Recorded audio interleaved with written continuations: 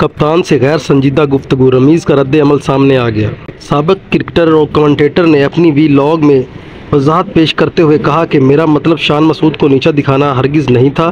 खिलाड़ियों से सवाल करना मेरा हक है। पाकिस्तान की कामयाबी से सबको इज़्ज़त मिलेगी।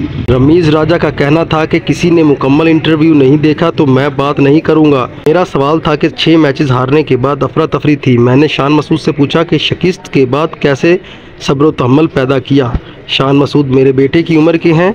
इनसे बैटिंग से मुतलक बात होती रहती थी। सबक क्रिकेटर का कहना था कि शान मसूद का लेग की तरफ़ शॉट खेलते हुए मसला है, जिस पर सवाल किया है। एक जीत के बाद हम भूल जाते हैं कि बहुत मंजिलें तय करनी हैं।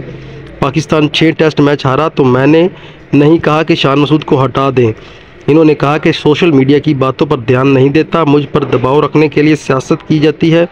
जो लोग क्रिकेट नहीं खेले, वो क्रिकेट पर बात करते हैं। ऐसा लगता है पाकिस्तान क्रिकेट ज़िंदा ही सोशल मीडिया पर है। कबल अजी इंग्लैंड के खिलाफ टेस्ट सीरीज़ जीतने वाले कप्तान शान मसूद को तनकीद का निशाना बनाने पर कमेंटेटर रमीज़ राजा को खूब ट्रोल किया गया।